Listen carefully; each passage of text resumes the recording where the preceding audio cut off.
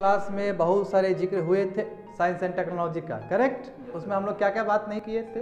लो earth orbit का बात हुआ था इस क्लास में हाई अर्थ ऑर्बिट का बात हुआ था। जब हाई अर्थ ऑर्बिट का बात हुआ था तो हमारा ध्यान गया था जियो सिंक्रोनस ऑर्बिट पे और जियो स्टेशनरी ऑर्बिट पे जहाँ बात करते हैं 35,786 किलोमीटर का बात करते हैं लोग।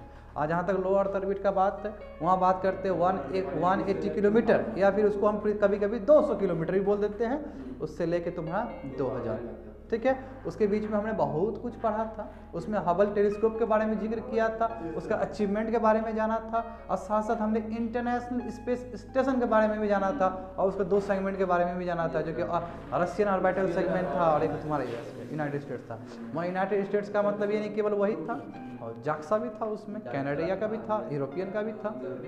हाँ बिल्कुल जैक्सा डेट इज़ जैपनीज समझ गए बात को? तो अब क्लास खींचेंगे। अब जानते हैं थोड़ा इसरो के बारे में। ठीक है जिसको कहते हैं इंडियन स्पेस रिसर्च ऑर्गेनाइजेशन ये क्या है जी? ये हमारा भारत का स्पेस एजेंसी है। ठीक है? ISRO is the space agency of the government of India headquarter in Bangalore Bangalore में इसका हेड क्वार्टर है। यदि मैं बैंगलोर का बात करूँ तो तुम्हारे इन्फॉर्मेशन के लिए, बाबू, एक चीज़ तुम्हारे इन्फॉर्मेशन के लिए मैं बता देना चाहता हूँ। यदि तुम longitude that is a latitude यदि लॉन्गिट्यूड खींचोगे तो दिल्ली से जो तुम्हारा लॉन्गिट्यूड जाएगा, वही बैंगलोर में भी जाएगा। देख सकते हो। यहाँ पे कोई भी तुम्हारा लैटिट्यूड देखो 76 और 80 यानी कि बीच में लगभग तुम मान लो कि 77 या 78 ये खींचोगे तुम, देखो। लेट से 77 ठीक है 77 खींचोगे तो you will get Bangalore Bangalore तुमको मिल जाएगा। कहाँ मिलेगा बैंगलोर? जरा दिखाओ, कर्नाटका में बैंगलोर कहाँ पे है? दिख गया तुमको? देखो, यहाँ से खींचे स्विंग दिल्ली। तो तुम्हारे लिए एडिशनल इन्फॉर्मेशन था ये कि यदि हम दिल्ली से लैटिट्यूड खींचेंगे तो बैंगलोर मिल जाता है ये। मैंने इसलिए तुमको एडिशनल इन्फॉर्मेशन दिया, क्योंकि सिविल सर्विस दो हज़ार उन्नीस में पूछ लेता है क्वेश्चन ऐसा और बच्चा लोग ये भी नहीं बना पाता है। समझे ना? जो पूछा हुआ चीज़ है, वो तो हिट करेगा, वो कभी नहीं भूलेगा आदमी। खुशी का बात है कि फिर सिविल सर्विस फिर नहीं पूछेगा वो। बस अलर्ट कर रहा है कि लैटिट्यूड लॉन्गिट्यूड में उतना ही ध्यान दीजिए आप। समझ गए ना? तो देखो तो इसरो क्या है? Space agency of the government of India headquarter in Bangalore its vision क्या है? उसका इच्छा। Harness space technology for national development well pursuing space science research and planetary exploration यानी कि हम जितना स्पेस टेक्नोलॉजी को हार्नेस करें बढ़ाए उसके पोटेंशियल को और बढ़ाए ताकि हम रिसर्च जो होना चाहिए साइंस पे, उसको बल दे सके और प्लानिटरी एक्सप्लोरेशन ये जो प्लानिट का जानने का जो जिज्ञासा, इच्छा है, जो आर्यभट्टा से शुरू हो चुका था, उसको हम पूरा कर सके। This the beauty of ISRO और ये खड़ा उतरा है इस चीज़ पे, बहुत अच्छा काम, कमाल का काम किया है। अभी गर्व होगा तुमको कि यूएस जो इसरो इतना कम समय में जो काम किया है, वो प्रशंसनीय है। ठीक है अब देखो it is a manage by the department of space ये इसरो का जो काम, जो भी चीज़ होता है, ये मैनेज कौन करता है? डिपार्टमेंट ऑफ़ स्पेस करता है, और जो कि डायरेक्ट रिपोर्ट देता है तुम्हारा प्राइम मिनिस्टर ऑफ़ इंडिया को। यही कारण है। जब हमारा सक्सेसफुल नहीं हुआ तो उसके चेयरमैन जब रो रहे थे तो मोदी जी गला मिल गए उससे, और मीडिया के सामने आ गए कि फ़ोटोज़ खाने के लिए। भाई, गला मिला था तो आप पीछे भी मिल सकते थे। ये मैंने उस समय भी तंज कसा था, उस क्लास में भी, क्योंकि टॉपिक ही ऐसा है। बात समझो तो अब इसका ऑर्गेनाइजेशन सेटअप देख लो, कि ऑर्गेनाइजेशन कैसे हैं? देखो प्राइम मिनिस्टर के अंदर स्पेस कमीशन होता है। उसके बाद तुम्हारा डिपार्टमेंट ऑफ़ स्पेस है। डिपार्टमेंट ऑफ़ स्पेस के अंदर तुम्हारा इसरो है। और इसरो का एक तुम्हारा कमर्शियल आर्म होता है बाबू। इसरो बाकी कंट्री का भी लॉन्च करता है कि नहीं करता है सैटेलाइट और कमर्शियल एक्टिविटी भी परफॉर्म करता है।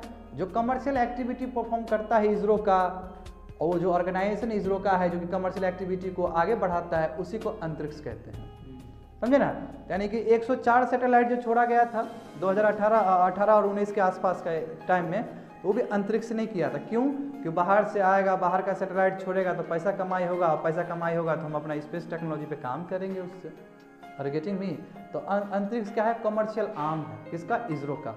तो इसका देखो हैराकी क्या है? Department of space department of ISRO ही पूरी डिपार्टमेंट ऑफ़ स्पेस ही इसरो को देखता है। तो इसलिए बोला गया है कि it is manage by the department of space और डिपार्टमेंट ऑफ़ स्पेस में तुम्हारा इन्वॉल्वमेंट स्पेस कमीशन का भी होता है। बताएँगे थोड़ी देर में स्पेस कमीशन के अंदर क्या होता है।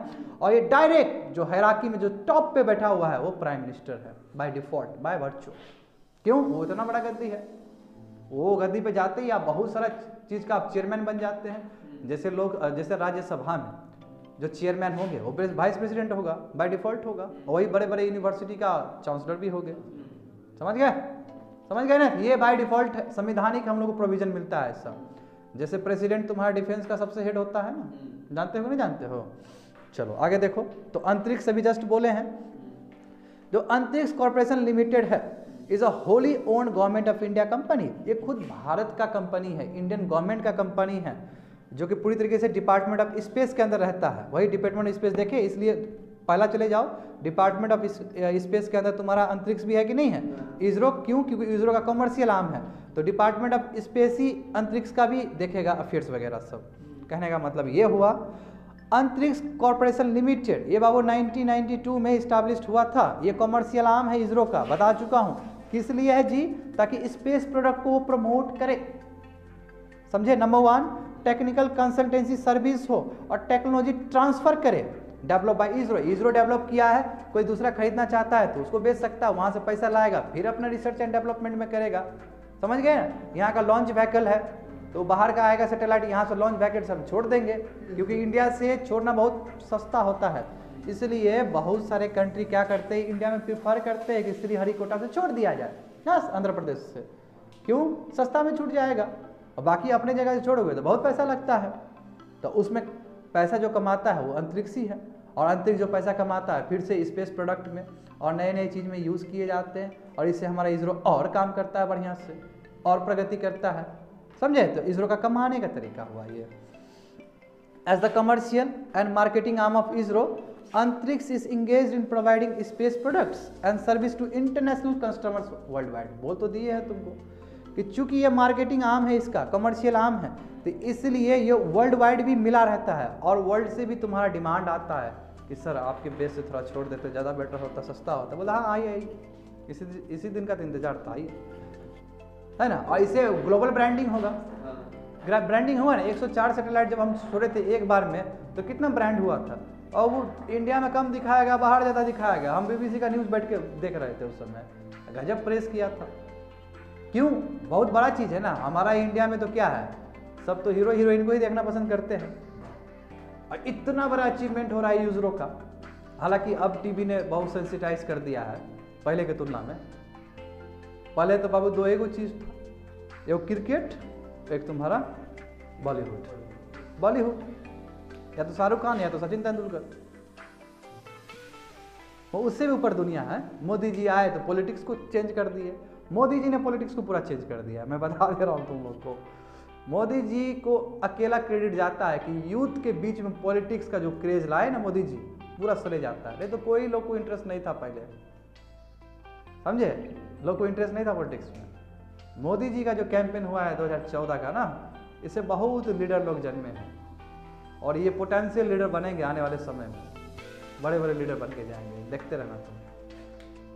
ठीक है? उसके बाद स्पेस कमीशन जो बोले ना कि डिपार्टमेंट ऑफ़ स्पेस है, उसके ऊपर स्पेस कमीशन था। देखो, ये बॉडी है that oversees the space programme of India जितने भी हमारे स्पेस प्रोग्राम होता है भारत में, ये कमीशन देखता है उस चीज़ को। और इसमें बाबू सब सीनियर सिविल सर्वेंट्स होते हैं। वही तो बोल रहा हूँ, एक आई एस वहाँ तक पहुँच सकता है। मैं यही बोल रहा था। और कौन से कौन से सीनियर होते हैं? तो प्रिंसिपल सेक्रेटरी टू पीएम बताओ, सबसे ऊपर पोस्ट होता है। ठीक है, ये कैबिनेट सेक्रेटरी सबसे ऊपर होता है प्रिंसिपल सेक्रेटरी टू पीएमओ ठीक है नेशनल सिक्योरिटी एडवाइजर जो अभी डोवल साहब हैं फॉरेन सेक्रेटरी ठीक है एंड सो ऑन और भी बहुत सारे तुम्हारे जो प्रोमिनेंट सिविल सर्वेंट है, वो सब मेंबर रहते हैं स्पेस कमीशन का। क्यों? क्योंकि इन को पता है। बहुत ज़रूरी है ना? उसमें एक्सपीरियंस ब्रेन चाहिए। मैनेजमेंट करने वाला ब्रेन चाहिए। तो सभी रहेंगे। और इसको भी देखो, ताकि ताकि कन्फ्लिक्ट ऑफ़ इंटरेस्ट ना हो। इसलिए स्पेस कमीशन का भी जो चेयरमैन होगा, इसरो का ही चेयरमैन होगा। ताकि देखो, दिक्कत क्या होता है? देखो, बात समझो। यदि ब्यूरोक्रेट चेयरमैन हो गया तो फिर इसरो के बारे में क्या पता है उसको? इसरो तो पूरा साइंस एंड टेक्नोलॉजी का है। ये चेयरमैन हो जाएगा, एक कलेक्टर यदि चेयरमैन हो जाएगा तो टेक्निकल चीज़ नहीं जान पाएगा। क्योंकि इसरो का जो कल्चर डिफरेंट होता है और एक कलेक्टर का कल्चर डिफरेंट है, यही सब चीज़ को ध्यान में रखते ही है। इसरो का जो चेयरमैन होगा बाय डिफ़ॉल्ट स्पेस कमीशन का भी चेयरमैन होगा। ताकि वहाँ पे तेल लगाना ना पड़े बाकी सिविल सर्वेंट को। नहीं तो फिर रोक दिया कोई प्रोजेक्ट को तो। या कहीं हरी झंडी नहीं मिला तो। और चेयरमैन खुद इसरो का ही चेयरमैन है। इसरो का चेयरमैन भी है स्पेस कमीशन का भी चेयरमैन है। तो फ़ायदा फ़ायदा फ़ायदा है। इसलिए ताकि ये बीच में डिस्प्यूट ना हो, इसलिए उसको चेयरमैन दिया गया है। समझे ना? ये क्लियर इंडिकेशन है। तो देखो वहाँ पे लिखा गया है it is headed by the यानी कि space commission will be the headed by the chairman of ISRO समझ में आया? It oversees the space programme and provides advice to the prime minister और स्पेस कमीशन का क्या काम है? जितने भी स्पेस प्रोग्राम हो रहा है इंडिया के लिए, वो सभी चीज़ को देखना और प्राइम मिनिस्टर को क्या करना? एडवाइस देना। क्या करे सर ये वो। तो इसलिए देख रहे हो, चंद्रयान वाला जो हुआ था तो प्राइम मिनिस्टर कितने एक्टिव थे? यही रीजन है because of your space commission आगे देख लो। अब यहाँ से शुरू हो जाता है तुम्हारा क्लास बाबू इसरो का सेंटर सब इसरो कोई छोटा चीज़ नहीं है। इसरो का अलग अलग ब्रांच है अलग अलग सेंटर्स है। इसका सेंटर देखेंगे। इसी का नाम है एक तुम्हारा विक्रम साराभाई स्पेस सेंटर। समझे? विक्रम साराभाई। विक्रम कौन था? ये विक्रम साराभाई बहुत बड़ा नाम है।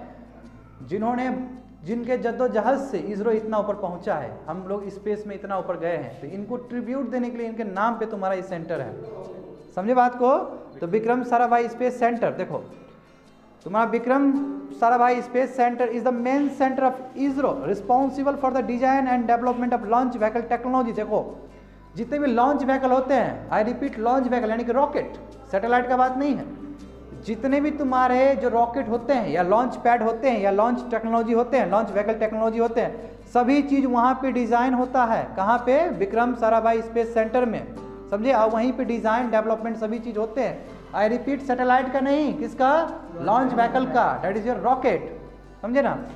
अब इस सेंटर में क्या होता है? देखो, इस सेंटर में बहुत सारी चीज़ होते हैं, जैसे डिज़ाइन होते हैं मैन्युफैक्चरिंग होते हैं एनालिसिस होता है डेवलपमेंट होता है टेस्टिंग होता है, और टेक्नोलॉजीज़ क्या क्या ज़रूरत है तुम्हारा लॉन्च व्हीकल यानी कि पूरी तरीके से कंप्रहेंसिव प्रोग्राम चलता है वहाँ पे। और ये सभी लॉन्च व्हीकल को वो करने के लिए, ना तैयार करने के लिए। देखो जो मेजर प्रोग्राम है तुम्हारा, जो विक्रम साराभाई स्पेस सेंटर में होता है, उसमें polar satellite launch vehicle hope so आप समझ में आ रहा होगा तुमको।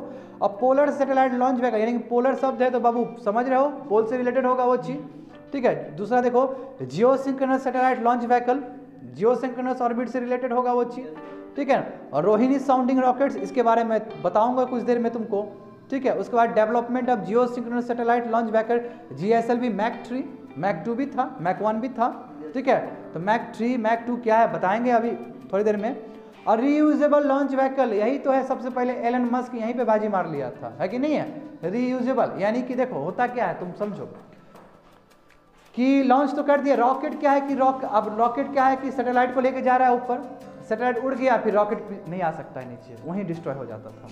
या घूमते रहेगा या फिर स्पेस डेब्रिज बन जाएगा। जो बोले थे नब्बे का तो कल का ग्राफ दिखाए थे कि नब्बे के बाद बहुत ज़्यादा डेब्रिज बना है, क्योंकि मिलिटराइजेशन स्पेस हो गया, बहुत ज़्यादा हो गया लो अर्थ ऑर्बिट में। तो क्या होता है, या तो ये जाके स्पेस में खत्म हो जाता है या फिर वहाँ डेब्रिज बन के रह जाता है। कौन? Launch vehicle that is a rocket तो इलन मस्क जो है तुम्हारा, इसने नया तरकीब लाया। और प्राइवेट है ये सब। खुद का दिमाग है उसका। इसने क्या किया? एक प्रोटोटाइप बनाया, छोटा बनाया, और इसने साबित किया कि हाँ रीयूजेबल लॉन्च व्हीकल भी हो सकता है, यानी कि ऊपर गए व्हीकल को लॉन्च कर दिया सैटेलाइट को लॉन्च कर दिया, वहाँ से फिर नीचे आ गया।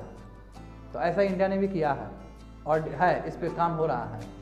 समझे ना, इस पर काम हो रहा है, बहुत खुशी की बात है। ये अपने आप में नया है।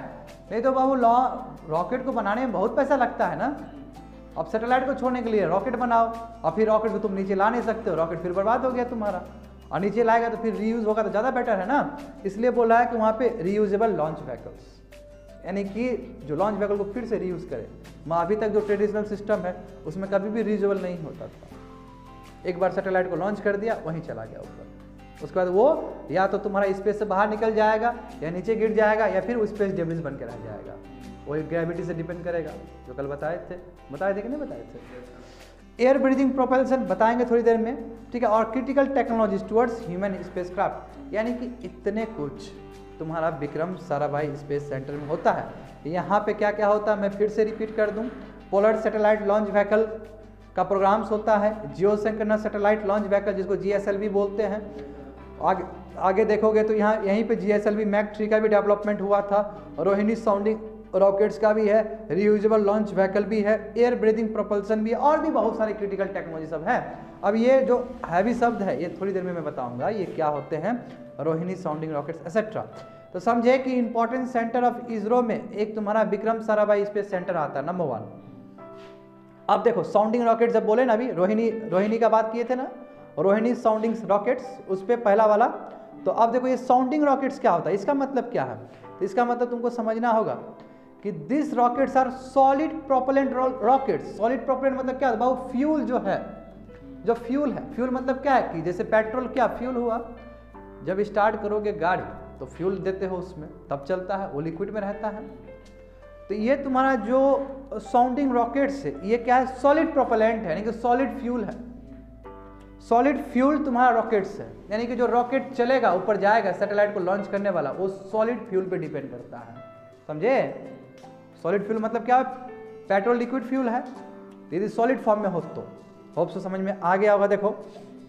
यानी कि sounding rockets this rockets are solid propellant यानी कि solid fuel rockets used for studying the upper atmosphere and weather यानी कि जो साउंडिंग रॉकेट्स है बाबू, कहाँ पे काम आता है? अपर एटमोस्फेयर को रीड आउट करने में और वेदर कंडीशन जो आईएमडी करता है use Indian meteorological department weather condition के बारे में जानेगा। तो रोहिणी, तुम्हारा यही रोहिणी साउंडिंग रॉकेट से उसको प्रोवाइड करेगा, क्योंकि यहीं से तुम्हारा सैटेलाइट जाएगा और वो वहाँ पे काम करेगा। यानी कि लॉन्च पैड है। ये क्या लॉन्च व्हीकल है ना जी? ये लॉन्च व्हीकल ऐसा लॉन्च व्हीकल है जहाँ पे सॉलिड प्रोपेलेंट यूज़ होगा, यानी कि सॉलिड फ्यूल यूज़ होगा नंबर वन देखो, ये बहुत इंपॉर्टेंट है। It is an instrument carrying rocket design to take measurements and perform scientific experiment in the upper layers of the atmosphere ये क्या करता है? वही बोले ये बहुत इंपॉर्टेंट है ऊपर में मेज़रमेंट करने के लिए, क्योंकि क्योंकि इसके साथ बहुत सारे इंस्ट्रूमेंट जाएँगे रॉकेट यानी कि सैटेलाइट जा सकते हैं, और भी अन्य चीज़ जा सकते हैं, जो कि अपर एटमोसफेयर को रीड आउट करेगा स्टडी करेगा। और यहाँ से हम लोग को बहुत कुछ पता चलेगा, और उसके बाद जग कल्याण के लिए यूज़ किया जाएगा उसको। चाहे आईएमडी यूज़ करे उसको। क्यों? जग कल्याण क्यों नहीं है? आईएमडी के पास डेटा आ जाएगा तो पता चल जाएगा फ्लड हो रहा है वहाँ पे टैफून्स आ रहा है साइक्लोन्स आ रहा है एंड सो ऑन तो वही बोला जा रहा है इट इज़ एन इंस्ट्रूमेंट बहुत इंपॉर्टेंट है sounding rockets carrying rocket design to take measurements and perform scientific experiment in the upper layers of the atmosphere third देखो they also serve as easy and affordable platforms to test new components and technologies intended for use in launch vehicles and satellites और जो ये sounding rockets जो तुम देख रहे हो, ये और भी ज़्यादा इंपॉर्टेंट है ताकि नए नए कंपोनेंट्स नए नए टेक्नोलॉजी को, ठीक है, और अच्छे से देखा जा सके और हम कैलकुलेट कर सके और हम पॉसिबिलिटी को और बढ़ा सके कि और क्या क्या यूज़ कर सकते हैं। देखो, सबसे इंपॉर्टेंट है कि सो, जो सबसे पहले बाबू साउंडिंग रॉकेट जो पहला भारत ने जो साउंडिंग रॉकेट छोड़ा था, वो थम्पा, जो कि त्रिवेंद्रमपुरम, जो केरला में तुम्हारा 1963 में छोड़ा था। ठीक है? और यहाँ से तुम्हारा इंडियन स्पेस प्रोग्राम स्टार्ट हुआ है। यानी कि पहली बार हमने, कोई बड़ा, देखो, अब सिंपल एक चीज़ और समझ लो। इसका मतलब क्या होता है? साउंडिंग रॉकेट मतलब क्या है कि बाबू, पहले रिहर्सल कर रहे हो। साउंडिंग साउंडिंग रॉकेट तुम्हारा ठीक हो गया, तब बात में जाकर तुम्हारा G S L V P S L V का बात होगा। समझे बात को? ये छोटा तरीका है प्रोटोटाइप है। तो सबसे पहला हमने जो स्पेस का काम किया था, वो 1963 में किया था। कहाँ से किया था? देखो त्रिवेंद्रमपुरम है यहाँ पे, देखो यहाँ पे मैप देखो यहाँ पे। यहाँ से छोड़ा था। और वो जगह क्या है? थम्पा समझे ना? और जो हम लोग रसिया से लाए थे अपना बना हुआ नहीं था, रसिया से लाए थे और यहाँ से लॉन्च किए थे त्रिवेंद्रमपुरम से किए थे। ठीक है ना? और यहाँ से हमारा इंडियन स्पेस प्रोग्राम शुरू हुआ है 1963 में। तो 1963 में, मैं बात बात करूँ तो कौन से? लाल बहादुर शास्त्री है अभी। है ना? 62 में उनका देहांत हो जाता है चाइना इंडो चाइना वार के साथ। है कि नहीं है? जानते हो तुम लोग? In India yes you know देखो in India all the sounding rocket activities are performed under the वही तो बोल रहा हूँ जितने भी ये साउंडिंग रॉकेट एक्टिविटीज़ परफॉर्म होते हैं, चाहे साइंटिफिक उसको वो चाहिए मेज़रमेंट चाहिए एक्टिविटीज़ करना चाहिए, यानी कि अपर एटमोसफेयर में जो भी काम होंगे, ये सभी चीज़ जो परफॉर्म किए जाते हैं, वो रोहिणी साउंडिंग रॉकेट प्रोग्राम के अंतर्गत किए जाते हैं। एक तरीका है जी बोलते नहीं इस प्रोग्राम के अंतर्गत ये ये सब होगा। तो किस प्रोग्राम के अंतर्गत अपर एटमोसफेयर में जाते हैं? साउंडिंग रॉकेट्स को लेके तो ये प्रोग्राम का नाम है तुम्हारा Rohini sounding rocket programme simple उसके बाद ISRO started launching indigenously made rockets from the nine देखो कितना गजब बात है। बताओ 1963 में तुम रसिया से लाया। और दो साल में बाबू अपना बना दिया तुम। और क्या चाहिए तुमको? तो बोला इसरो स्टार्ट लॉन्चिंग इंडिजिनियसली अपना खुद का बनाना शुरू कर दिया sounding rockets from 1965 and an experience gained was immense value in the mastering of solid propellant technology और उसके बाद क्या हुआ? जो अनुभव है, इतना गजब अनुभव बढ़ा कि उसका पता चला कि सॉलिड फ्यूल यानी कि सॉलिड प्रोपेलेंट टेक्नोलॉजी कैसे और बेहतर कर सके हम, और बेहतर करके और किस तरह हम स्पेस टेक्नोलॉजी को और हार्नेस कर सके और बढ़ा सके। उसके लिए तुम लॉन्च पैड बनाएगा लॉन्च व्हीकल बनाएगा रॉकेट बनाएगा। अब बखूबी किया है। तुम देखोगे जी एस एल भी पी एस एल भी, सभी में तुम्हारा सॉलिड प्रोपोलेंट भी यूज़ होता है। लिक्विड भी होता है सॉलिड भी होता है। जानेंगे उस चीज़ को। The sounding rocket programme was the bedrock the bedrock on which launch vehicle technology could be build इसलिए बाबू, ये जो साउंडिंग रॉकेट बोले ना साउंडिंग रॉकेट प्रोग्राम ये क्या एक रिहर्सल है? हाँ सिविल सर्विस के लिए एग्ज़ाम देने के लिए पहले प्रीलिम्स वो टेस्ट सीरीज़ देता है कि नहीं देता है? हाँ चाहे प्रीलिम्स का हो मेंस का हो। तो एक तरह से यही है साउंडिंग रॉकेट प्रोग्राम क्या है? टेस्ट सीरीज़ है। और जब पास करोगे आई बनोगे तो तुम्हारा ऊपर जाना हुआ। बात समझे? तो वही बोल रहा है कि ये क्या कि बैड रॉक है, यानी कि रास्ता है, शुरू का फंडामेंटल्स है। और उसके बाद गजब गजब का हम लोग के पास vehicle technology, launch vehicle technology हम बिल्ड किए हैं उसके बाद। तो कोई पूछेगा कि रोहिणी रोहिणी प्रोग्राम जो साउंडिंग रॉकेट से रिलेटेड है, वो एक्चुअली में बैड ड्रॉप वो फंडामेंटल्स हमारे जितने भी लॉन्च पैड के लिए वहाँ से शुरू हुआ था। 1963 में हम भले ही रसिया से मंगाए मात्र दो साल में 1965 से हमने अपना ही बनाना शुरू कर दिया। ये है मास्टरी और उसके बाद हमको सॉलिड प्रोपोलेंट टेक्नोलॉजी में मास्टरी हासिल हो ही गया। और वही आगे जाके बाबू चंद्रयान तक हम कर देते हैं, आदित्य मिशन का बात कर देते हैं हम लोग। तो गजब किया है ना इसरो, काम तो। अभी और काम दिखेगा तुम लोग को। तो देखो, मैंने क्या क्या बताया तुम लोग को जो main centre Vikram Sarabhai space centre दूसरा एक मैंने साउंडिंग रॉकेट्स के बारे में बताया तुम लोग को। अब देखो, ये भी उतना ही इंपॉर्टेंट है। Third one liquid propulsion system centre ये भी एक जगह का नाम है। ठीक है, देखो, ये सेंटर है for design and development liquid propulsion stages देखो, अब लिक्विड प्रोपल्सन यानी कि बाबू लिक्विड प्रोपोलेंट वाला।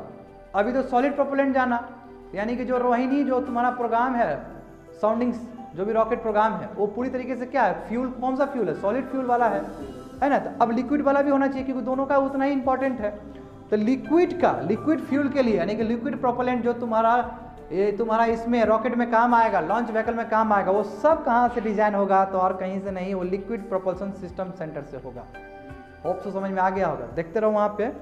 It is a centre for design and development of liquid propulsion stages for ISRO's launch vehicles and key components of liquid propulsion system are developed here और जितने important important stages होंगे, समझे ना? उसका अलग अलग stage होता है कि नहीं होता? वो सभी चीज़ तुम्हारा लिक्विड प्रोपल्सन सिस्टम सेंटर में डेवलप होते हैं।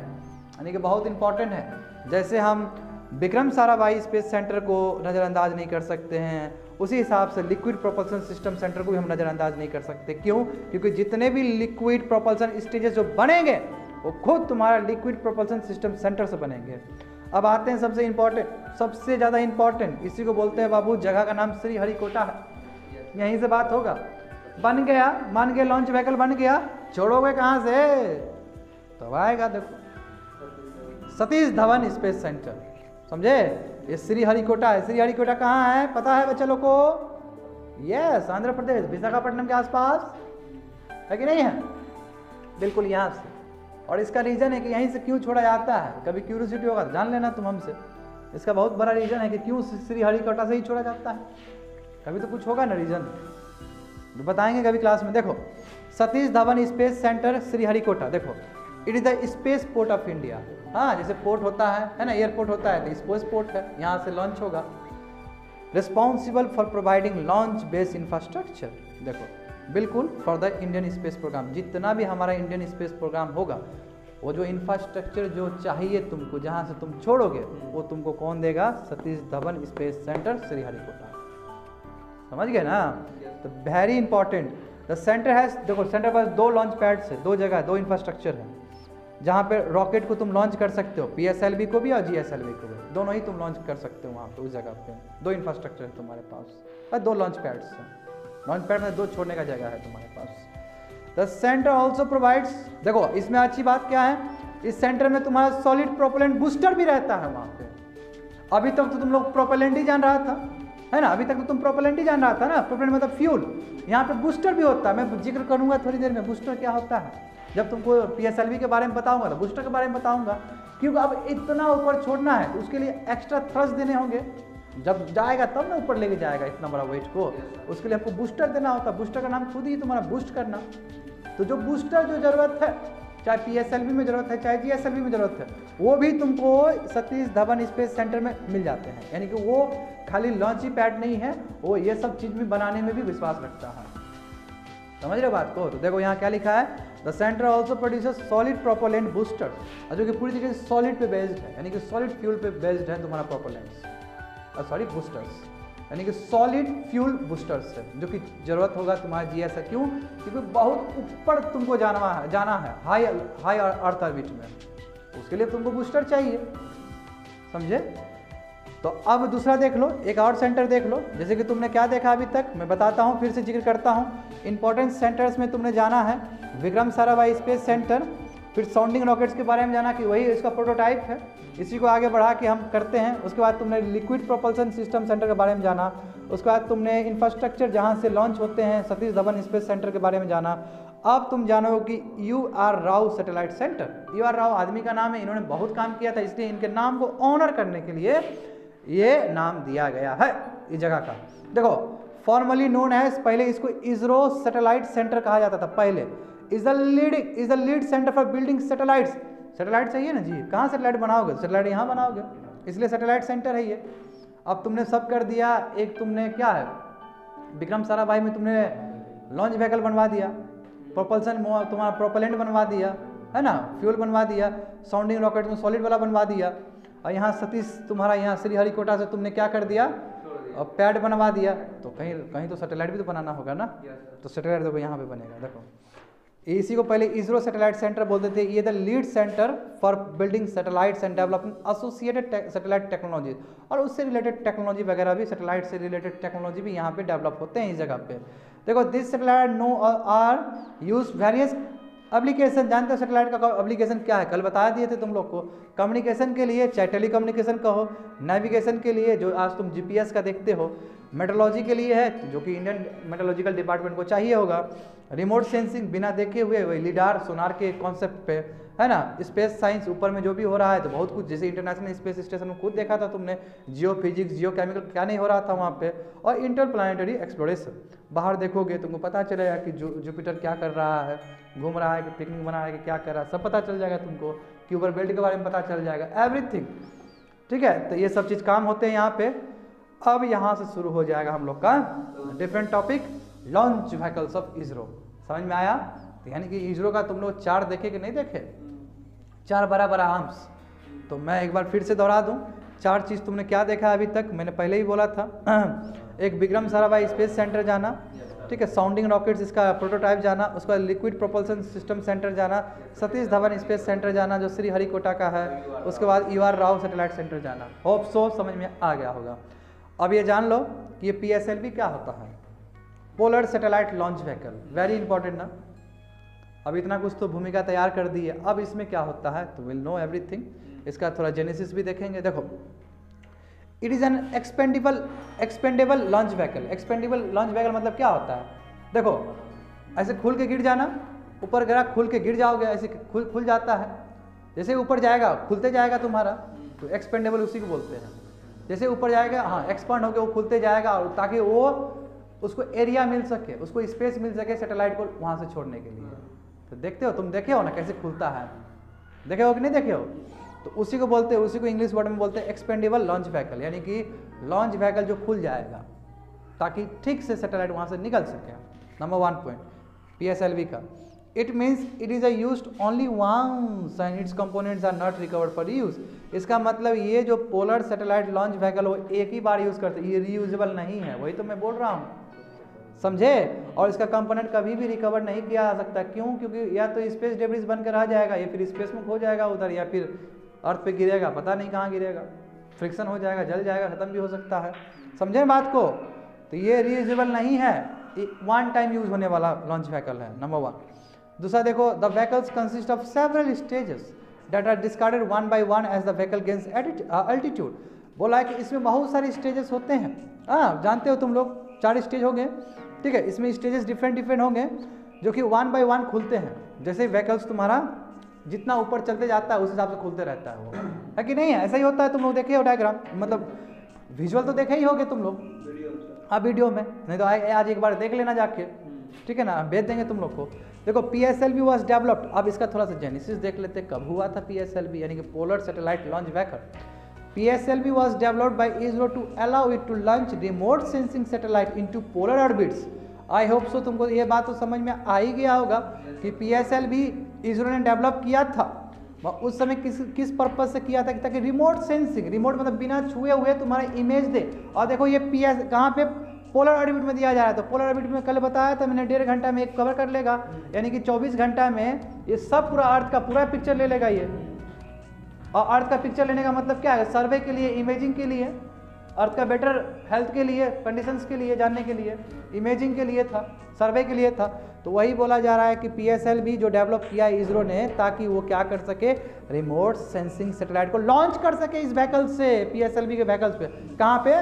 पोलर ऑर्बिट्स में। क्यों ना हो? क्योंकि पोलर वर्ड शब्द है वहाँ पे। कुछ मीनिंग होगा। तो समझ के देखो, ऐसे होगा सैटेलाइट देखो कैसे जाएगा। ये घूम रहा है। पोलर ऑर्बिट मतलब ऐसे वाला, जैसे अर्थ घूम रहा है वेस्ट टू ईस्ट ऐसे ऐसे देखो। जैसे एग्ज़ाम्पल ऐसे ऐसे घूम रहा है।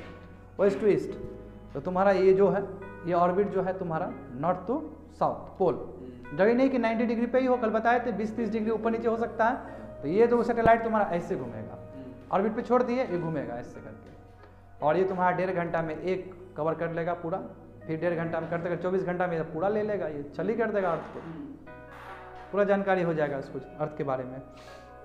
अब देखो क्या किया P S L V can also launch small satellite अब इसका मतलब ये नहीं कि आप केवल पोलर सेटेलाइट लॉन्च व्हीकल है तो पोलर में ही छोड़ेगा। ये सबसे इंपॉर्टेंट चीज़ है। पी वी इनफैक्ट छोटे छोटे small satellite geostationary orbit में भी लॉन्च कर सकता है। ये खासियत है। क्योंकि पहले वो पोलर सेटेलाइट के लिए किया था। तो नाम उसका वही है। मगर इसके पास क्षमता है कि ये जियो स्टेशनरी ऑर्बिट में भी तुम्हारे छोटे छोटे सेटेलाइट को रख सकता है। इसलिए बाबू कभी कभी क्वेश्चन यहाँ पे लोग गड़बड़ा देते हैं। लोग को लगता है केवल ये पोलर सैटेलाइट के लिए ही है। समझे? तो ये तो बोल तो रहा है। कि P S L V can also launch small satellite into geostationary orbit geostationary and geosynchronous I hope समझ में आ गया होगा। जियो स्टेशनरी मतलब हमेशा तुम्हारा क्या है कि एंटीना हमेशा फिक्स रहेगा। ठीक है? क्योंकि उसका west to east direction same रह जाएगा। P S L V was developed in the early कब? नब्बे के दशक में बना था। कहाँ पे? विक्रम साराभाई स्पेस सेंटर जो बोले अभी। अब कहाँ पे है? तो बताए ना ऊपर। विक्रम साराभाई स्पेस सेंटर जो इंपॉर्टेंट पार्ट है वहाँ पे क्या क्या हो रहा है जी? वहाँ पे तुम्हारे जितने भी लॉन्च व्हीकल बनते हैं, वहीं पे तुम्हारा डिज़ाइन हुआ था। यही ना जी अभी बताए हैं। नब्बे के दशक में हुआ था। और त्रिवेंद्रम, ये जानते हो विक्रम साराभाई स्पेस सेंटर कहाँ है? त्रिवेंद्रम में। त्रिवेंद्रम का मतलब क्या होता है जी? कहाँ है? नीचे है सबसे। ये तमिलनाडु का पार्ट होगा। बिल्कुल यही होगा यही होगा। त्रिवेंद्रमपुरम ही होगा। यही यही वाला पार्ट है। ठीक है, सबसे टिप में है। देखो हो गया ये चीज़। P S L V was first launch सबसे पहला देखो, ये तुमको मानना होगा कि हम फेल कर गए शुरू में, मगर हम ज़्यादा फेल नहीं किए। हमने बहुत, उसके बाद बहुत सक्सेसफुली काम भी किया है। देखो पी एस भी सबसे पहले लॉन्च किया गया था सेप्टेम्बर 1993 में, मगर हम फेल कर गए उस समय। उसके बाद फिर से सक्सेसफुली सेकेंड मिशन हम कंप्लीट कर लिए। एक साल बाद 1994 में हम कामयाब हो गए। और फोर्थ मिशन हमारा थर्ड सेकेंड मिशन भी सही रहा। थर्ड मिशन सेकेंड मिशन भी सही रहा थर्ड मिशन भी सही रहा फिर हमारा फोर्थ मिशन 1997 में गड़बड़ा गया फेल कर गया। मगर उसके बाद, यानी कि हम 1993 में फेल कर गए और 1997 में फेल कर गए, दो बार फेल किए हम लोग। मगर उसके बाद 1997 के बाद ये कभी भी पीछे मुड़ के नहीं देखा पी तुम्हारा। और उसका लगातार 40 टाइम्स से ज़्यादा हमने लॉन्च किया विदाउट फेलियर तो हम नहीं बोलेंगे कि इसरो ने बहुत बड़ा काम किया है। मात्र आप दो बार फेल हुए। स्पेस में तो कई बार लोग फेल होते हैं। बहुत अनोखा चीज़ है स्पेस उसमें हमने इतना फतेह किया है। गर्व की बात है। For low earth orbits P S L V widely use क्योंकि यहाँ बात टूट गया। लो अर्थ अब तुम लोग ये चीज़, तुम लोग एक चीज़ जान लेना। देखो इधर। अब तुमको कहा जा रहा है कि पोलर जो ऑर्बिट है polar orbit low earth orbit भी हो सकता है। पोल का डायरेक्शन ये है। नीचे तरह सकता है ये। तो जो तुम्हारा पी एस एल वी ये कान खोल के सुन लो। जो पी एस एल वी जो रॉकेट जो छोड़े जाते हैं, जिसमें सैटेलाइट रख के जो छोड़े जाएँगे, वो हमेशा तुम्हारा लो अर्थ ऑर्बिट में यूज़ होता है मैक्सिमम टाइम अभी तो बोला जा रहा है कि छोटा सैटेलाइट हम जियो स्टेशनरी में भी छोड़ सकते हैं। मगर जो वाइडली यूज़ है अधिकतर जो यूज़ है, वो कहाँ पे यूज़ है? लो अर्थ ऑर्बिट में यूज़ है। टिल नाउ देखो, अभी तक क्या हुआ? अभी तक मैं बात करूँ। तो P S L V has launch more than 48 Indian and 210 foreign satellites देखो 200 से अधिक फॉरेन सैटेलाइट छोड़ा है। लगभग 50 इंडियन सैटेलाइट छोड़े हमने। तो बहुत बड़ा हमने तीर मारा है। इसलिए पीएसएलवी को इसरो का वर्क हाउस कहा जाता है। काम करने वाला घोड़ा। जो इसरो को सबसे ज़्यादा प्रेस्टिज दिया है वर्ल्ड में, वो पीएसएलवी है। मेहनती है। क्यों? बाबू 210 फॉरेन सैटेलाइट्स कर दिया, और क्या चाहिए तुमको? और इससे अंतरिक्ष का जो कॉर्पोरेशन लिमिटेड है, बहुत कमाया होगा, और हमारा जो रिसर्च एंड डेवलपमेंट, और तगड़ा हो रहा होगा। समझ गए? पी एल ये है। तो समझ लो, जब इतना समझ ही रहा है तो ये भी समझ ही लो कि पी में क्या क्या होता है। तो इसको समझना पड़ेगा तुम लोग को। P S L four stage rocket programme है। अरे, चार स्टेज होते हैं। अभी थोड़ा देर में डायग्राम बता देंगे तुमको।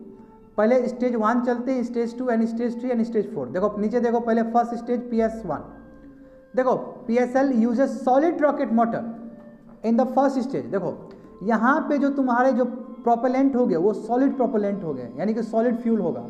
समझ गए? और सॉलिड फ्यूल होगा तो कहाँ से आएगा बाबू? साउंडिंग रॉकेट वाला?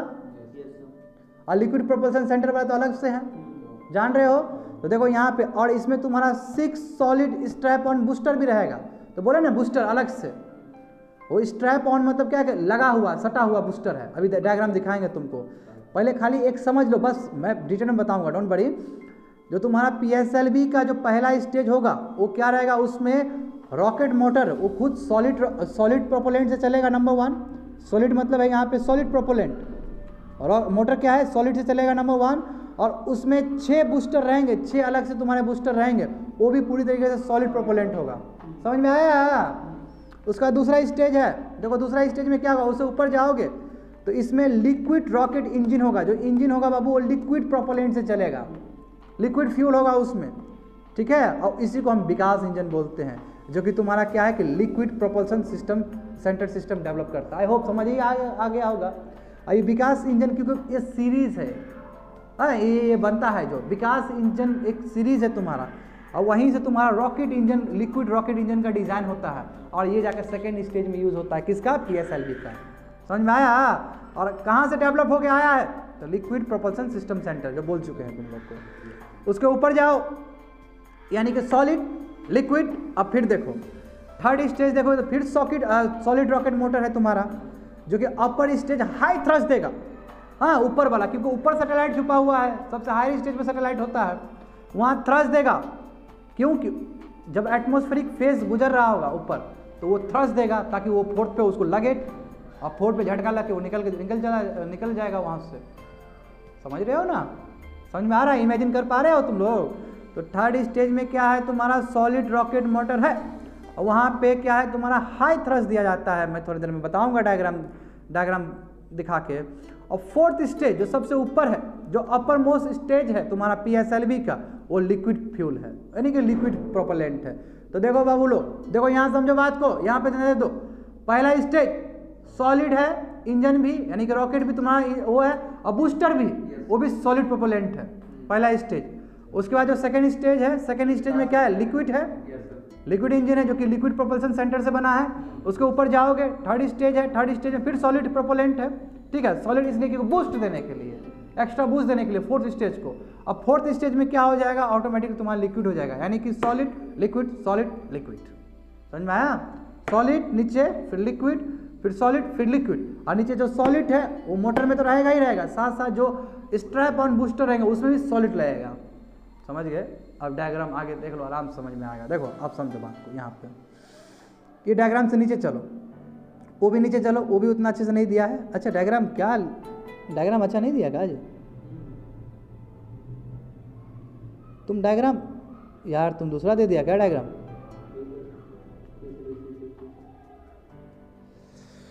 डायग्राम इसमें देखो, चलो ठीक है, इसमें जितना है मैं बताता हूँ। देखो देखो हाँ स्ट्रैबन बूस्टर देखो।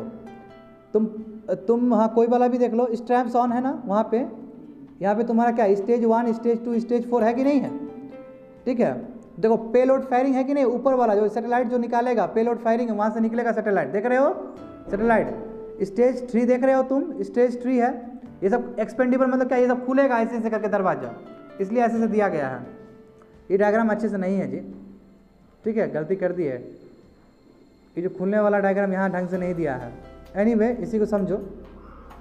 हाँ तो देखो क्या है तुम्हारा? इसका बूस्टर होता है। देखो इसमें कितना बूस्टर बोला जा रहा है? ऊपर फिर से देखो कितना बूस्टर है जीएसएलवी में? छः बूस्टर है। छः बूस्टर के बारे में अच्छे से नहीं दिया। देखो छः बूस्टर आप देखो तुम थ्री देख लो इसको। तो जो स्ट्रैप ऑन है वो बूस्टर के बारे में बोल रहा है। वो हाई डायमीटर देखने की आवश्यकता नहीं है। वहीं पे बूस्टर होगा। सेकंड स्टेज देख लो सेकेंड स्टेज तुम्हारा ये होगा थर्ड स्टेज ये होगा फोर्थ स्टेज ये होगा। तो हाँ इसको तुम देख लो लास्ट वाला जो तुम्हारे पास डायग्राम है, देखो हाँ हाँ दिया तो है, देखो। देखो पी एस ओ एम वाला है, ये देखो, ये वाला डायग्राम हाँ बिल्कुल, ये सब, ये देखो, ये डायग्राम दिख रहा है तुम लोग को? हाँ इसमें नज़र आ जाएगा, देखो। पहला तुम्हारा जो, तुम्हारा चार दिख रहा है ना, वो छः है, पीछे भी दो है। ठीक है, ये बूस्टर है, ये स्ट्रैपन बूस्टर है। और वहाँ पे तुम्हारा मोटर है मोटर क्या है? सॉलिड प्रोपोलेंट है, उसके बाद देखो दूसरा स्टेज है। उसका थर्ड स्टेज देखो फोर्थ स्टेज है। समझे? इस तरह होगा। डायग्राम अच्छे से नहीं दिया इसमें अच्छा एनी anyway, ये बताएँगे तो और ज़्यादा समझ में आ जाएगा। देखो एक समझ लो और और समझ में आ जाएगा। तो P S L V polar satellite launch vehicle ये क्या है देखो? ISRO has develop a number of variants of P S L V to cater to different mission requirement अब देखो पी एस एल वी में और भी वेरिएंट्स है यानी कि और वेराइटीज़ है। समझे? और वेरिएशंस है। पी एस एल वी अलग अलग टाइप का बनाने का प्रयास किया इसरो ने ताकि वो अलग अलग काम को अंजाम दे सके।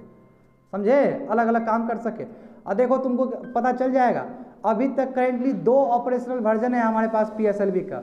दो अलग अलग टाइप के हो सकते हैं पी पहला क्या है? कोर अलोन जिसमें तुम्हारा कोई स्ट्रैप मोटर नहीं है। बोले ना स्ट्रैप और मोटर होगा बूस्टर के तौर पे। तो एक है जहाँ पे नहीं है, बस कोरी है यानी कि नीचे वाला ही है। सॉलिड प्रोपोलेंट वाला तुम्हारा तुम्हारा क्या है? मोटर है। सॉलिड और उसमें बूस्टर नहीं है स्ट्रैप और बूस्टर नहीं है। तो दो टाइप के हो सकते हैं, जिसमें बूस्टर भी हो सकते हैं छः वाले और मिसिंग भी हो सकते हैं। तो जो मिसिंग है, उसको बोलते हैं कोर अलोन कोर मतलब केवल कोर है बूस्टर नहीं है। ठीक तो वही बोला कि the core alone without any strap on motors यानी कि तुम्हारा, बिना तुम्हारा उसका बूस्टर का। दूसरा क्या है कि P S L V XL यानी कि तुम्हारा क्या एक्सटेंडेड लेंथ एक्सटेंडेड लेंथ का मतलब क्या है कि जो बूस्टर है अलग से छः एक्सटेंडेड तुम्हारा बूस्टर है। समझ में आया ना जी? आप यानी कि तुम्हारा दो टाइप का पी का वर्जन हो सकता है। एक में क्या है? बूस्टर हो सकता है छः वाला और एक में नहीं हो सकता है। एक बस कोर अलोन रहेगा और एक में कोर के साथ तुम्हारा पेलोड्स सॉरी तुम्हारे बूस्टर्स भी रहेंगे स्ट्रैप ऑन मोटर्स भी रहेंगे। अब देखो, ये जो कन्फिग्रेशन है provide wide variation in payload capabilities और इस तरह का जो तुम्हारा कन्फिग्रेशन तुमको देखने को जो मिलता है हाँ पी जो बना है इससे बाबू लगभग 3800 केजी का तुम लो अर्थ ऑर्बिट में छोड़ सकते हो। इतना तुम्हारा केजी का सैटेलाइट और यदि छोटे छोटे छोटे छोटे सैटेलाइट है तो बहुत छोड़ सकते हो तुम। 104 हमने कैसे किया था? तो यही सब करके किया था। देखो, उसके बाद तुम्हारा पोलर ऑर्बिट में तुमको छोड़ना है। तो देखो लो अर्थ ऑर्बिट में छोड़ना क्या है?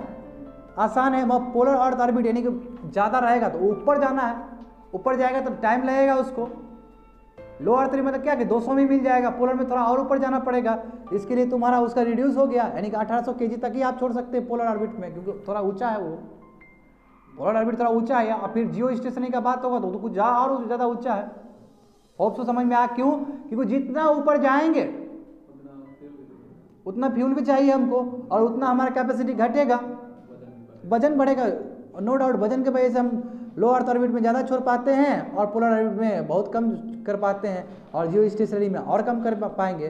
तो देखो P S L V C thirty seven जो तुम्हारा यही बाबू लॉन्च पैड था, जिसमें 104 सैटेलाइट को छोड़ा गया था। फिफ्टीन फरवरी 2017 इसलिए ऐतिहासिक दिन था वो 15 फरवरी 2017 को। और गजब बात है, देखो, तुम हैरान हो जाओगे। 104 सैटेलाइट में मात्र तुम्हारा तीन इंडिया का था, डोमेस्टिक था। और 101 तो तुम्हारा फॉरन था, इसलिए हेडलाइंस बन गया ये, बहुत ज़्यादा। समझा? मेजर सैटेलाइट्स क्या थे? Was the Cartosat two D and the rest were nano satellites इसमें बोला जा रहा है कि जो ज़्यादा सैटेलाइट 101 तुमको सैटेलाइट जो नज़र आ रहे हैं और फिर तुमको डोमेस्टिक नज़र आ रहे हैं, यदि हम पूरा समावेश करें उसमें मैक्सिमम जो सैटेलाइट था वो काटोसैट टू डी सैटेलाइट्स था। क्या होता है ये? एक सीरीज़ है मैं बताऊँगा थोड़ी देर में। और सभी नैनो सैटेलाइट्स थे। नैनो सैटेलाइट मतलब क्या है कि जिसका केजी बहुत कम था? यानी कि टेन तुम्हारा टेन के का बिलो टेन के जी वन के भी हो सकता है। छोटे छोटे तभी नहीं एक सौ चार कर पाओगे। अदरवाइज़ तो बहुत मुश्किल है तुम्हारा। हाँ कैपेसिटी है तो एक सौ चार है तेरे कम कम होगा। तो कार्डोसाइट टू डी देख लो। कार्डोसाइट टू का मतलब क्या है? It is the fifth of the Cartosat series of satellite ये देखो कार्डोसाइट टू जो है तुम्हारा ये एक प्रोग्राम है। किसके अंदर? कार्डोसाइट सीरीज़ ऑफ़ सैटेलाइट देखो कार्टोसेट सीरीज़ ऑफ़ सैटेलाइट में अलग अलग काम के लिए अलग अलग सैटेलाइट छोड़े गए हैं और अलग अलग समय। जैसे 2015 में एक छोड़ा गया बोला कि कार्टोसेट सीरीज़ का एक सैटेलाइट है। ये काम ये करेगा। फिर बाद में उसी प्रोग्राम के हिसाब से फिर दूसरा सैटेलाइट छोड़ा गया।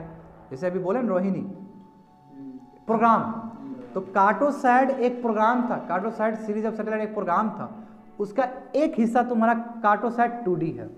समझ गए बात को ना? तो वही बोला कि ये फिफ्थ पांचवा तुम्हारा सीरीज़ है कार्टोसैट टू किसका? Cartosat series of satellite programme का। होप सो समझ में आ गया होगा। उसके बाद this satellites are earth observation satellite built by India जो कार्टोसैट 2D जो बोले ना कि मेजर सैटेलाइट जो था कार्टोसैट 2D था, ये किस लिए है? अर्थ का ऑब्जर्वेशन करने के लिए। अर्थ को ठीक से ऑब्ज़र्व करने के लिए। और till now six Cartosat had been launch ये जो तुम्हारा जो बोल हैं ना, ये सीरीज़ है, इस सीरीज़ में हम लोग अभी छः बार हम सेटेलाइट छोड़ चुके हैं। क्योंकि एक सीरीज़ है, और अलग अलग अलग साल different different year different different हम सेटेलाइट छोड़ेंगे। ध्यान में रखते हुए डिफरेंट डिफरेंट मिशंस को। समझ में आ रहा होगा hope so a Cartosat series किसका पार्ट है? इंडियन रिमोट सेंसिंग प्रोग्राम का।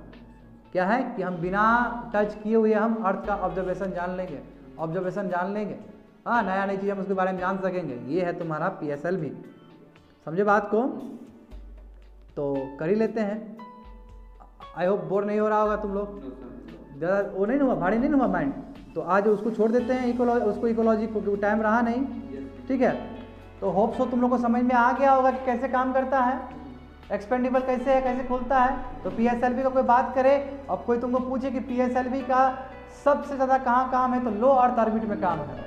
पोलर सैटेलाइट में भी है पोलर ऑर्बिट में भी है मगर लो अर्थ ऑर्बिट में ज़्यादा होता है। और जानते हो क्योंकि पोलर उसमें तुम्हारा अरे ज़बरदस्त बताएँ तुम्हारा कितना के जी पेलोड अड़तीस सौ के जी है ना?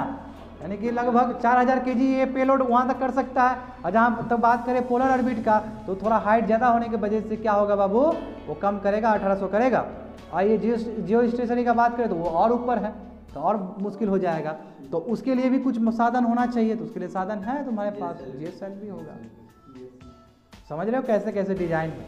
ऑप्सो तुम था पहले क्लास में? मज़ा मारो तो बैठ के देखो क्रायोजेनिक रॉकेट इंजन हाँ देखो क्रायोजेनिक देखो, ये तुमको समझना होगा, ये इट्स अ डिफरेंट ये फ्यूल है जी। देखो, ये समझना होगा। देखो क्रायोजेनिक रॉकेट इंजन जो होता है, वो क्रायोजेनिक फ्यूल और ऑक्सीडाइजर की यूज़ करता है। देखो, अभी जब तुम लोग आग लगाओगे तो ऑक्सीजन का ज़रूरत है कि नहीं है? बिना ऑक्सीजन का तो कभी आग होगा ही नहीं। और नाइट्रोजन उस कंबसन को रोकता है कंट्रोल करता है। नाइट्रोजन का यही तो काम है। कि उसको रिस्ट्रिक्ट करे। नाइट्रोजन नहीं रहेगा तो आगे आग लग जाएगा, पूरी तरीके से जल जाएगा सब। तो नाइट्रोजन का क्या है? रिस्ट्रिक्ट करना कंबसन को। है ना जो नेचुरल प्रोसेस है? जानते हो तुम लोग। अब यहाँ पे देखो तो क्रायोजेनिक रॉकेट इंजन में क्या है तुम्हारा? ये क्रायोजेनिक फ्यूल क्या करता है? और ऑक्सीडाइजर यानी क्रायोजेनिक फ्यूल है और ऑक्सीडाइजर यानी कि ऑक्सीजन है वहाँ पे। Cryogenic fuels are fuels that require storage cryogenic जो फ्यूल है है ना, वो एक्सट्रीमली लो टेम्परेचर पे उसको मेंटेन करके रखना होता है ताकि वो लिक्विड स्टेट में रह सके। एकदम कम टेम्परेचर पे। समझे? यानी कि बिलो माइनस पे। अभी बताएँगे थोड़ी देर में। तो क्रायोजेनिक फ्यूल का ये दिक्कत है। और लिक और देखो नीचे कम टेम्परेचर में बिलो द रूम टेम्परेचर में रखना बहुत डिफ़िकल्ट टास्क होता है। इसलिए फीजर वाला जो वैक्सीन आ रहा था तो उसमें भी देखा था कि बिलो तुमको बहुत नीचे माइनस सेवेंटी थ्री के आसपास रख है ना? था ना? तो इंडिया में वो है ही नहीं सिस्टम तो बात समझो इतना आसान नहीं होता है कि बिलो फ्रीजिंग पॉइंट पर रखना। फ्रीजिंग पॉइंट क्यों? क्यों ज़ीरो डिग्री से बहुत नीचे है वो। तो इसलिए क्रायोजेनिक फ्यूल को मेंटेन करना it's a very difficult task तो वही बोला वही बोला जा रहा है cryogenic fuels are fuels that require storage at extremely low temperature in order to maintain them in a liquid state. ताकि वो लिक्विड स्टेज में रह सके, इसलिए कम टेम्परेचर में बहुत नीचे बिलो फ्रीजिंग पॉइंट में रखना पड़ता है उसको। The fuel and oxidizer are both gases which are liquefied and stored at very low temperature बोला कि जो फ्यूल है ऑक्सीडाइजर दोनों गैसेस है, जिसको लिक्विफाइड किया जाता है और स्टोर किया जाता है। हकीकत में क्या है? फ्यूल हकीकत में तुम्हारा गैस है। गैस का तुम टेम्परेचर घटा दो तो लिक्विड में कन्वर्ट हो जाएगा। खींच लो तो लिक्विड में कन्वर्ट हो जाएगा। जानते हो कि गैस से तुम्हारा लिक्विड बन सकता है, जब हीट को रिड्यूस कर दोगे। यस हाँ बिल्कुल एलपीजी वाला काम। ठीक है तो फ्यूल और ऑक्सीडाइज दोनों ही तुम्हारा गैसेस है नॉर्मल टेम्परेचर में। देखो, जो लिक्विफाइड है और उसको लो टेम्परेचर में रखना पड़ता है। Cryogenic fuels are mostly liquefied gases such as liquid hydrogen और क्रायोजेनिक फ्यूल उसी तरह है तुम्हारा, जिस तरह लिक्विड हाइड्रोजन रहता है। समझे ना? उसी तरह का है तुम्हारा। Various cryogenic fuel oxidizer combination have been tried देखो, बहुत सारा ट्राई किया गया। क्रायोजेनिक का बहुत सारा फ्यूल ऑक्सीडाइजर कॉम्बिनेशन ट्राई किया गया। मैं जो सबसे बेस्ट तुम्हारा जो है लिक्विड हाइड्रोजन और तुम्हारा लिक्विड ऑक्सीजन ये सबसे बेस्ट है। ये सबसे ज़्यादा एफिशिएंट है। बहुत सारे कम्बिनेशन में देखेंगे कि कौन सा ऑक्सीडाइजर और कौन सा फ्यूल को कंबाइन करे तो ज़्यादा एनर्जी देगा। बहुत सारे अध्ययन हुए रिसर्च हुए और जब रिसर्च में जाकर पता चला कि सबसे बेस्ट कोई है तो लिक्विड हाइड्रोजन और लिक्विड ऑक्सीजन जब दोनों को कंबाइन करते तो गजब का एफिशिएंसी देता है वो। इसलिए सबसे एक्सेप्टेबल है ये। समझ गए बात को ना? तो वही बोला जाए कि बहुत सारे क्रायोजेनिक फ्यूल ऑक्सीडाइजर कम्बिनेशन को देखा गया। जो सबसे बेस्ट कॉम्बिनेशन है, क्या है? लिक्विड हाइड्रोजन और लिक्विड ऑक्सीजन का, वो ज़्यादा यूज़ होता है। अब समझो कि ऑक्सीजन लिक्विफाई कब होता है? यानी कि ऑक्सीजन जो कि गैस है, वो कब लिक्विड में बनेगा? तो minus one eighty degree Celsius इतना कम? एट्टी थ्री डिग्री सेल्सियस में सोचो बिलो कितना फ्रीजिंग पॉइंट नीचे और उसके बाद हाइड्रोजन लिक्विफाइड कब होगा? माइनस टू फिफ्टी डिग्री यानी कि मज़ाक का चीज़ नहीं है। कितना ह्यूज रिसोर्सेस लगेगा उसको नीचे करने में? समझ रहे हो ना? इसलिए कह सकते हो कि दोनों को क्या करना पड़ता है हमको? घटाना पड़ता है, उसका टेम्परेचर बहुत रिड्यूस करना पड़ता है। तब जाके दोनों लिक्विड स्टेज में आते, तब जाके दोनों को कंबाइन किया आता है और तब वो क्रायोजेनिक रॉकेट इंजन को जन्म देता है वहाँ से। समझ में आया? तो क्रायोजेनिक रॉकेट इंजन देखो तो समझ गए? क्रायोजेनिक इंजन एक वेरी कॉम्प्लेक्स सिस्टम है। होप सो समझ में आ गया होगा तुमको? Due to the use of propellant क्योंकि जो फ्यूल यूज़ होता है, क्योंकि एक्सट्रीमली लो टेम्परेचर पे होता है, बहुत मुश्किल है इसको करना। It also requires complex ground complex ground support system like propellant storage कहाँ पे इसको रखोगे? क्योंकि तुरंत निकालोगे, गैस बन के उड़ जाएगा तो दिक्कत है फिर। क्योंकि बाहर निकालोगे तो रूम टेम्परेचर में तो गर्म है ज़्यादा। वो बिलो फ्रीजिंग पॉइंट है। तो इसको मेंटेन करना स्टोर करना भी बहुत बड़ा डिफ़िकल्ट टास्क है। समझे? इसलिए बोला it requires complex ground support system like propellant storage कहाँ पर रखा जाए फ्यूल को? And filling system transportation and handling of cryogenic fluids and testing facility ये सभी स्टोर करना कहाँ पे इसको चेक करोगे टेस्टिंग करोगे ये एक बहुत जटिल प्रोसेस है तुम्हारा क्रायोजेनिक रॉकेट इंजन को देखते हुए। क्यों कॉम्प्लेक्स है इशूज क्योंकि बहुत ही बिलो फ्रीजिंग पॉइंट रखना पड़ता। है बेनिफिट्स क्या? उसका बेनिफिट्स क्या है? बाबू, उड़ेगा भी तो क्या होगा? कहाँ हाइजाइडस होगा? एक हाइड्रोजन है, एक तुम्हारा ऑक्सीजन है। ये बहुत क्लीनर है। वही बोला जाएगा क्रायोजेनिक फ्यूल्स क्या एक एनवायरमेंटली क्लीनर है? As compare to other rocket fuels क्यों? हाइड्रोजन है, कहीं कुछ नुकसान नहीं होगा। एक ऑक्सीजन है, तुम्हारा क्या दिक्कत है? दोनों तुम्हारा क्या है? आराम चल जाएगा ईयर में। क्रायोजेनिक फ्यूल्स है अब देखो, ये क्या बोला है? क्रायोजेनिक फ्यूल का हायर मास फ्लो रेट होता है। हायर मास फ्लो रेट का मतलब क्या होता है कि ये बहुत ज़्यादा एफिशिएंट होता है। यानी कि बोलते हैं ना माइलेज क्या देता है? तुम लोग सिंपल टर्म्स में समझो। तो माइलेज बेस्ट है इसका। माइलेज के टर्म्स में बोलने का प्रयास से। Therefore produce more thrust और ये ज़्यादा थ्रस्ट देता है तुम्हारा। जब इसको इंजन में डाला जाता है, जब कंबस किया जाता है तो बहुत ज़्यादा थ्रस्ट देता है। क्यों? क्योंकि ये हायर मास फ्लो रेट है। यानी कि तुम्हारा एक सेकेंड में इसका जो मास होता है फ्लो बहुत तगड़ा होता है। तगड़ा होगा तो उतना ही कंबसन देगा, उतना ही फिर वो ताकत देगा, उतना ही ताकत देगा तो उतना ही तेज़ी से ऊपर जाएगा। This means that engine will run further on less fuel जब इतना एफिशिएंट है तो कम फ्यूल में उड़ जाएगा आराम से। है ना? तो ये ब्यूटी है तुम्हारा क्रायोजेनिक फ्यूल्स का। अब देखो नॉ ये देखो क्रायोजेनिक फ्यूल्स क्या है? नॉन पोल्यूटेंट्स है। बोले तो हैं। यदि स्पीड भी होता है तो कोई रिस्क नहीं है। कोई रिस्क नहीं, हाइड्रोजन अपना आराम चल जाएगा। उधर तुम्हारा क्या है? दूसरा क्या ऑक्सीजन है? ऑक्सीजन आराम चल जाएगा। इन्वायरमेंट के साथ वो हो जाएगा, मिल जाएगा। Therefore will be no need to clean up hazardous waste after spill क्योंकि देखो मरीन का देखते हो मरीन में कभी कभी बाबू स्पिल ऑयल स्पिलेज हो जाता है। तो कितने ऑर्गेनिज्म मर जाते हैं? यदि तुम्हारा, अभी बहुत सारा गैस तुम्हारा वो H two S hydrogen sulphide जो है H two S hydrogen sulphide वो हो जाएगा तो बाबू चियार के मर जाओगे तुम लोग। इतना बुरा हाल हो जाएगा। समझे? तो कहने का मतलब क्या कि इस, देखो, इससे बेस्ट क्या हो सकता है? क्रायोजेनिक स्पिल भी हुआ, कोई दिक्कत नहीं हो। क्लीनर एनर्जी है, कोई दिक्कत ही नहीं होगा, कोई बड़ा एक्सीडेंट भी नहीं होगा। इसलिए ह्यूमन हेल्थ के लिए भी सबसे बेस्ट है क्रायोजेनिक इंजन और इसलिए इस कम्बिनेशन को ज़्यादा प्रेफर किया जाता है। हम मानते हैं, थोड़ा कॉम्प्लेक्स इशूज़ है मेंटेन करना स्टोरेज करना। समझे? तो देखो, ये क्यों बताया गया? ये इसलिए बताया क्योंकि क्रायोजेनिक इंजन यहाँ पे यूज़ होगा जीएसएलवी में। तो वो नहीं जानते तो फिर जीएसएलवी कैसे जानते तुम लोग? तो समझो GSLV geosynchronous launch vehicle देखो geosynchronous satellite launch vehicle GSLV mark two ये भी एक्सपेंडेबल तुम्हारा लॉन्च व्हीकल है खुल जाता है बाबू, है ना? ये पहली बार लॉन्च किया गया था 2001 में, वो कब किया गया था? 1993 में? ठीक है ना? बिल्कुल, उसके बाद हमने बहुत किया है। ठीक है जीएसएलवी प्रोजेक्ट वाज ये 2001 में किया गया। वह शुरू में हम 1990 में शुरू किए थे। ऑब्जेक्टिव यही था कि जियो सिंक्रोनस में किसी तरह हम लॉन्च कर दें, अपना कैपेबिलिटी बढ़ा दें। तो हमने मानेंगे यानी कि thirty five thousand seven hundred eighty six kilometre पर हम सेटेलाइट छोड़ दे, तब मानेंगे ठीक है? तो with the objective of acquiring a launch capability of for geosynchronous satellites GSLV is three stage देखो P S L V four stage ये क्या है? थ्री स्टेज व्हीकल है। Solid liquid and cryogenic stages समझ में आया ना? Solid liquid cryogenic. और क्रायोजेनिक भी क्या लिक्विड है? हकीकत में रूम टेम्परेचर में गैस है, उसको हम लिक्विड बना रहे हैं रूम टेम्परेचर वो कम करके है ना? इसलिए क्रायोजेनिक और उसको रूम टेम्परेचर में आएगा, फिर लिक्विड बन जाएगा वो। सॉरी फिर गैस बन जाएगा वो आई एम सॉरी वो गैस बन जाएगा। और उसको लिक्विड में किया जा रहा है टेम्परेचर घटा के। तो पहला क्या होगा? Solid liquid and cryogenic stages देख लो। तो पहला स्टेज देखो। The first stage uses of solid rocket motor देखो, उसके साथ मैच करो बच्चे लोग। उसके साथ क्या था? उसमें तुम्हारा जो पहला स्टेज था उसमें भी सॉलिड इंजन ही था सॉलिड रॉकेट ही था। यानी कि सॉलिड था वो। और ये ऑगमेंट करेगा यानी कि बूस्ट करेगा। Four liquid strap on booster वो फोर वो सिक्स सॉलिड था। ये लिक्विड है। हाँ. डिफरेंस समझ रहे हो ना? समझते जाओ। समझे? स्ट्रैप ऑन बूस्टर है। सेकेंड स्टेज देखो। इसमें विकास इंजन है। विकास इंजन के बारे में बताएँगे। देखो नीचे लिखा गया है। ठीक है? बिल्कुल, ये Vikas engine actually liquid propellant के लिए यूज़ किया जाता है, समझे ना?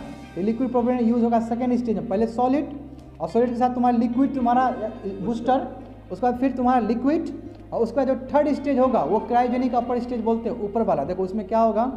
The third stage uses indigenously develop cryogenic engine हमने खुद, भारत में खुद बनाया है। इसका नाम है सी सेवन पॉइंट फाइव नाम है जी, जो कि डेवलप्ड हुआ है तुम्हारे किस प्रोजेक्ट के अंतर्गत? क्रायोजेनिक अपर स्टेज प्रोजेक्ट के अंतर्गत। समझे?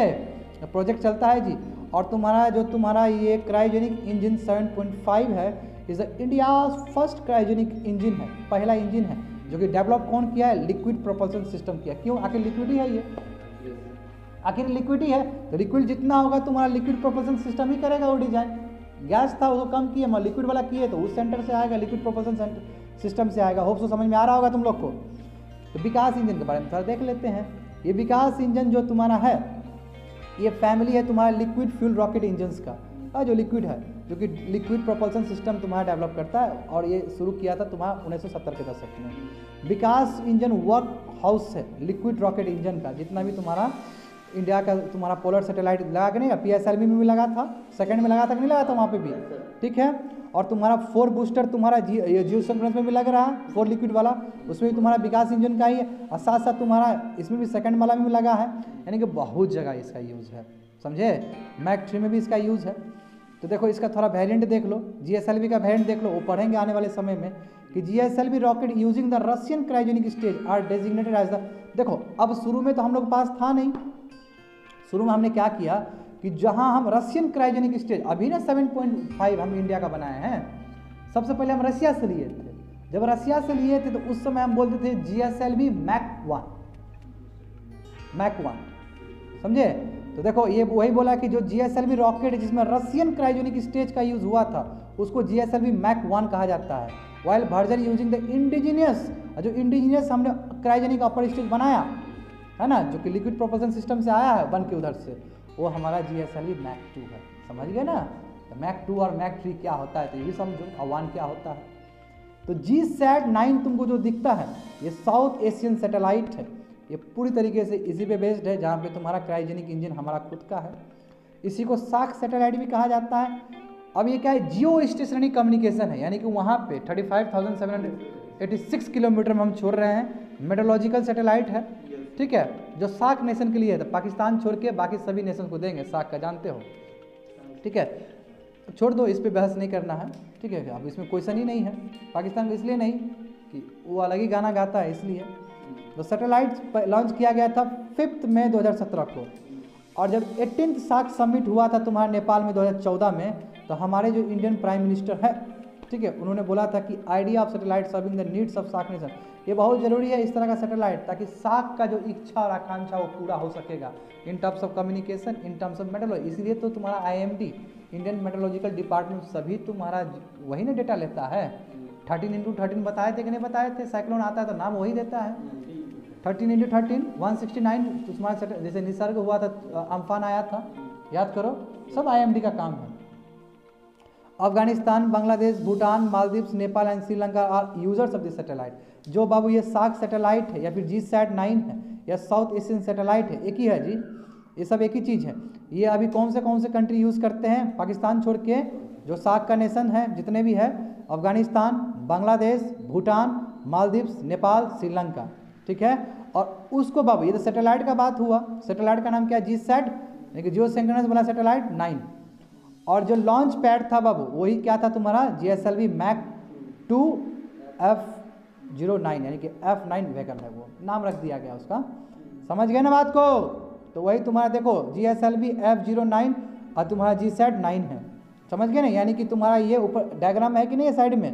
कि जी एस एल वी तुम्हारा लॉन्च व्हीकल है, वो सैटेलाइट का नाम है जी सेट जियो सेंगनेस वाला सैटेलाइट तो लास्ट में देख लो, खत्म तो हो ही गया। देख लो जो बताएँ देखो बूस्टर है कि नहीं हो कितना बूस्टर होगा? कितना बूस्टर बोले थे? चार बोले थे इसमें। पीछे भी है। तो देखो, ये एस टू हंड्रेड बूस्टर है। अभी नेक्स्ट क्लास में जानेंगे। देखो, विकास इंजन है कि नहीं है? उसके ऊपर जो विकास इंजन तुम लोग को दिख रहा है सेकंड स्टेज में, ठीक है? उसको एल वन वन ज़ीरो भी बोलेंगे। मैं बताऊँगा कल के क्लास में नेक्स्ट क्लास में। उसका क्राइजेनिक इंजन है, उसके बाद, और उसके बाद तुम्हारा वहाँ पे हील्ड सील्ट है। वहाँ पे टेस्ट और वहाँ से सैटेलाइट छोड़े जाएँगे। देखो, ये भी वही चीज़ है। एल वन वन ज़ीरो कल के बारे, कल के क्लास में जानेंगे। ये एस टू हंड्रेड स्टेज क्या होता है एस ट्वेंटी फाइव स्टेज क्या होता है एंड सो ऑन ये कल के क्लास में जानेंगे नेक्स्ट क्लास में. लास्ट भी देख लो diagram that's it for today